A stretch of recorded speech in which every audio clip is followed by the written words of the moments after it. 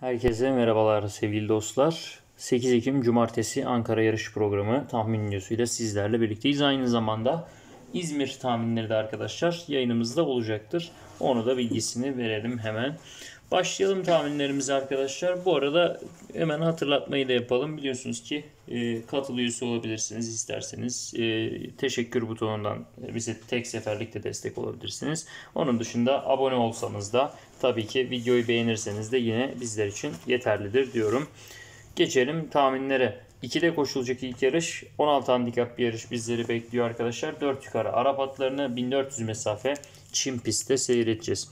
Bu yarışta Yılmaz Hoca e, tabi altılı harici bir koşu olduğu için e, belirtmemiz gereken bir kere öncelikli o var. Yani burası altılının dışında olduğu için çok da fazla şey yapmayacağız, detaylı tutmayacağız.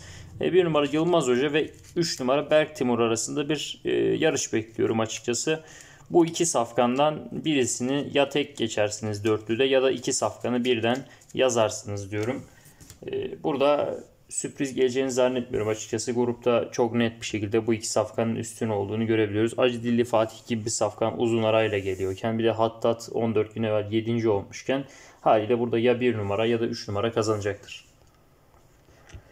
İkinci koşu 5 safkan, şart 3, 2 yaş İngilizler, 7 plasenin ilk ayağı, 1400 çim pist yarışı. Burada da çok net bir şekilde 1 numaralı safkan Gunef'ten arkadaşlar galibiyet bekliyoruz. Yıldırım Bey anne tarafı Victory olup olan Safkan Saadettin Boyraz'da start alacak. Yani 5 yarışlık performansla baktığımızda Safkan'ın yalnızca bir kez tabela dışı kaldığını görüyoruz. O da çim yarışı değil. Çim pistte hiç tabela dışı kalmamış. Son yarış 20 gün evvel 5. gelmiş ancak bir önceki yarış kazanmış ve burada yarış kazanmış tek Safkan olduğu için burada bir numarayı hem birinci dörtlü ganyanda hem de yedili plasede tek veriyoruz. Gelelim 3. koşuya şimdi arkadaşlar. Altılı Ganyan'ın başlangıç ayağı. 6 safkanla başlayacağız. Kısa vade 9 gibi e, bayağı açık yarış niteliği taşıyan bir e, grupla bir koşuyla e, sizlerleyiz. 3 yukarı İngilizler 2100 mesafe kum piste çıkıyorlar. Arkadaşlar burada eğer özellikle tuttuğunuz bir safkan varsa biliyorsunuz ki böyle yarışlarda hep e, o, o ismi yazmanızı öneririm. Onun haricinde kendi önerime geçeceğim. Öncelikle bir özet geçerim. Burada 1 numara ve 3 numaranın uzun arayla geldiğini görüyoruz. Mesafenin de uzun olmasıyla beraber ben bu safkanların şansını az görüyorum. Grup da sert zaten. 1 ve 3 numarayı buradan elediğimizi varsayıyorum. 4 numara Uğur Tay çok formsuz vaziyette. Şu anda 28 günlük bir arayla da geliyor ve son yarışta 9. oldu. Bir önceki yarış 7. vesaire. Yani bir türlü e, tam istediğinin yakalayabilmiş bir safkan değil. E, bunu belirtmekte fayda görüyorum. Son dönem performanslarına baktığımızda burada Gold Design'ın çok iyi geldiğini görüyoruz. 6 yarışta 5 galibiyet bir ikinciliklik bir seriye sahip olan Safkan burada bizim favorimiz konumundadır. İlk ayakta tek geçer misiniz bilmiyorum ama ben Gold Design'ı tek olarak görüyorum. Eğer ki tek geçmeyecekseniz o zaman böyle bir durumda arkadaşlar e, ee, 6 numara Unchained'i öneririm. Gökhan Kocakaya ile birlikte start alacak olan Safkan. Veyahut da 2 numara Göğüs Geren. İkisinden birisini yazarsınız. 2 numara Göğüs Geren de olabilir yani o da iyi duruyor. Ya, ya burayı 2-5 yapın ya 5-6 yapın. E, veyahut da 5 numarayı tek geçin diyebilirim. İlk ayak olduğu için belki tek geçmek istemezsiniz ama aksi takdirde 5 numarayı tek geçebilirsiniz burada. Gelelim dördüncü koşu Sir Percy Lauren koşusu. E, kısa vadiyede 3 yukarı İngilizleri. 1900 e, mesafe çim pistte seyredeceğiz arkadaşlar. Sönmez Bey e, Halis Karataş'la birlikte burada ilk yazmamız gereken isim konumundadır. 23 gün evvel elde ettiği galibiyetinin yanı sıra burada 1.55-57'lik bir derecesi var ki bu, bu en iyi derecelerden birisi. İkinci en iyi derece. En iyi derece elde eden Secret Blood 3 numaralı safkanın 86 gün arayla geliyor olması itibariyle Burada bu en iyi derecesini tekrarlayabileceğini zannetmiyorum. Muhtemelen Secret Blood yarışı 1.56'larda bitirecektir. E, bu durumda Sönmez Bey'in e, şu anda daha avantajlı olduğunu net bir şekilde söyleyebiliriz. Halis Karataş'la birlikte 4 numara ilk tercihimiz olacaktır. 4 numaranın yanında ilave olarak bu koşuda arkadaşlar 1 numara Hunting e, yazılabilecek bir isimdir. Bir de e, yine başka bir isim düşünceniz varsa burada ilave olarak üçüncü bir at ilavesi. O konuda serbestsiniz diyebilirim. Safkanlar birbirlerine yakın düzeydeler. 4 ve 1 yeterli olacaktır muhtemelen burada diye tahmin ediyorum. Gelelim 5. koşu uluslararası Kraliçe 2. Elizabeth koşusu. Grup 2 bir yarış. 2 yaşlı İngilizler 1400 mesafe. Çim piste çıkacaklar. 7 ee, safkan start alıyor burada. e, bu 7 safkan içerisinde en çok performansını e, izlediğimiz ve e, iyi yarışlarda daha doğrusu izlediğimiz ve beğendiğimiz isme değinmemiz gerekiyor. O da arkadaşlar e, Tour Demirkır ve e, General Briella 6 ve 7 numaralı safkanların burada daha tecrübeli olduğunu net bir şekilde söyleyebiliriz. E, çok açık bir şekilde bu ortadadır. Yarışı çift pist olması itibariyle ben çift pistte çok, çok daha fazla gördüğümüz, daha fazla güvenebileceğimize inandığım bir isim olarak Tour Demirkır'ı avantajlı görüyorum. Ekürüs de var burada. Gezallı Ekürüs startılıyor 3 numaralı safkanla. 6 numara Tour Demirkır Halis Karataş'la birlikte buranın avantajlı ismidir. 14 gün evvel ikincilik elde etti. Çin pistte de son 4 yarışta ilk 3'ün dışına çıkmadı. 7 numaralı safkanı isteyenler ilave edebilirler. Ama e, burada yine bir isim daha var dikkat çekmemiz gereken. North 4 numara. O da arkadaşlar 1.24.94'lük bir derece elde etti. E, bu pistte elde edilmiş bir derece hem de. 16 gün evvel de son yarışında kazandı yine. E, Kurtere küresinde safkanları var. Burası baya bir karışık bir koşu ama basitleştirmeye çalışıyorum. Şöyle söyleyeyim. 6 numara Tur Demirkır buranın e, en büyük mutlak favorisidir. Galibiyetin adayıdır. Tek geçmek istiyorsanız Tur Demirkır 6 numarayı tek geçin. E, aksi takdirde yazılabilecek en e, iyi at ikinci at burada 7 numara e, General Brielle olur ama 6 numara tek gibi duruyor arkadaşlar. Çin pistte daha fazla güven vermesi itibariyle. Geçelim 6. koşu yumurta koşusu. E, 6 safkan kısa vade 6. 4 yukarı Araplar 1600 mesafe Çin pistte çıkacaklar.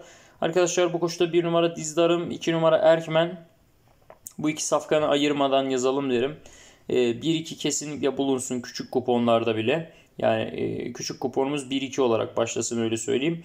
Genişletecekler için sırasıyla burada arkadaşlar Halis Karataş'la birlikte baş kasaptan bir iyi performans bekliyorum. Son dönemde çok iyi şu anda bir form tutmuş geliyorken bu yarışta mutlaka ilk 3 içerisinde bitirecektir diye tahmin ediyorum. Bunu da yaparsa galibiyetli olabilir bir anda.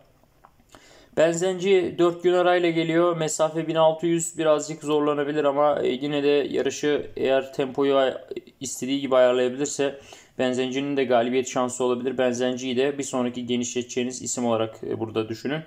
Adı var arkadaşlar 8 gün evvel 9. olduğu için ben bu safkanı bir tık geride görüyorum.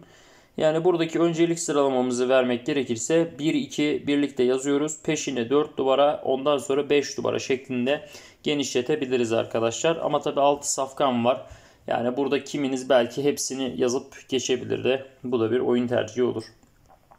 7. koşu 7 safkan kısa vade 8-3 yaşlı İngilizler 1400 kum yarışı. 23 gün evvel kazanan bir isim Espinoza ile başlayacağız. Müslüm Çelik'le birlikte bu, bu koşuda bizim açıkçası favorilerimizden birisi. Zor bir yarış bizleri bekliyor. Yine büyük bir e, yarış şöleni var diyebiliriz açıkçası.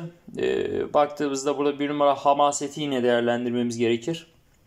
Hamaset'in de iki yarış galibiyet bir de beşinciliği e, söz konusu. Yine baktığımızda bu e, koşu performanslarında. Yenefer'e dikkat 7 numara Gökhan Kocakaya ile 5 gün evvel 6. olmuş olmasına aldanmayın. Mesafe kısa. Kondisyonla ilgili fazla bir sorun yaşayacağını zannetmiyorum. E, altıncılığı tabii ki birazcık kuşku uyandırıyor ama daha belki performanslarına güvenerek Yenefer'e de burada şans verebiliriz diye tahmin ediyorum. E, böyle bir durumda arkadaşlar 1-2-7 şeklinde 3 safkanlı bir oyun oynanabilir. E, velev ki başka istediğiniz bir isim varsa benim verdiğim 3 safkandan biriyle değiştirip yine 3 safkanda tutabilirsiniz bu kuponu. Yani fazladan at yazmanıza gene gerek kalmamış olur. Ee, hani benim verdiklerimden 1, 2 ve 7'den aklınıza yatmayan varsa, kendi beğendiğiniz bir at varsa geriye kalanlar içerisinde tabii ki orada bir takas yapabilirsiniz. 8. koşu Maiden dişi 3 yaşlı Arap atları. 1500 mesafe kum pist yarışı. Arkadaşlar burada da 25 gün evvel ikinci olmuş. 2 yarış koşmuş. ve de tabii işte birlikte Çelemli ile başlayacağız. 4 duvara. E, ilk kez kuba çıkacak ama idmanları iyi olan Gökhan Kocakaya ile birlikte e, Eparven ve hakeza aynı şekilde e, Gup Sezen 6 numara Müslüm Şehit ile birlikte bu safkanlarda dikkat etmek lazım 5 ve 6'ya. E, idmanlarını da zaten göstereceğim. Bakınız arkadaşlar rahat tempo bir idman sprint olarak rahat tempoda yapılmış Eparven'in. Gup Sezen 57 29 yine rahat tempoda yapılmış bir idman. Rahat olması çok e, dikkatimi çeken bir durum oldu burada tabii ki. Mesela Hoşgör 41 80 27 30 gelmiş vaziyette bir idmana sahip ama E, tabii ki bu idmanların tempoları farklılık gösteriyor. E, 7 numara hoşgörüde geniş kuponlarda tercih edebiliriz. Onu da belirtmiş olayım. E, bunun dışında 4 numara önceliğimiz 5, 6, 7 genişletirken sıralamamız olacaktır. Burayı da bu şekilde arkadaşlar bitiririz diye düşünüyorum.